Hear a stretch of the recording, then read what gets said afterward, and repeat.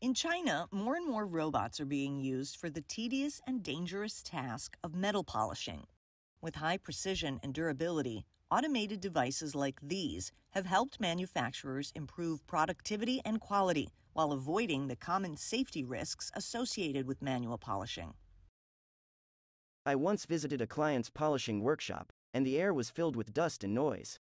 There were also safety risks. The environment was dirty and messy, which made it difficult to recruit workers.